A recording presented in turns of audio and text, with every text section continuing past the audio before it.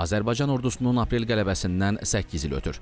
2016-cı ilin martın ortalarından ermənilər atəşkəsi intensiv pozmağa başladılar. Aprelin 1-dən 2-sinə keçən gecə isə cəbhə boyu Azərbaycan ordusunun mövqeləri və yaşayış məntəqələri intensiv atəşə məruz qaldı. Aprelin 2-dən 5-nədək qoşunların təmas xəttində silahlı təxribatlar törədildi. Ermənistan silahlı qüvvələrinin təxribatları nəticəsində Azərbaycan ordusu şəhid verdi. Həmçinin mülki əhali arasında da ölən və yaralananlar oldu.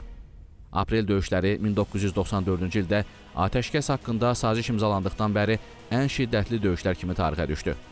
Azərbaycan ordusunun cavab zərbələri nəticəsində 2000 hektardan artıq ərazi erməni işğalından azad olundu və daha çox ərazi əməliyyat baxımından nəzarət altına keçdi. Talış kəndi ətrafındakı yüksəkliklər tam təmizləndi.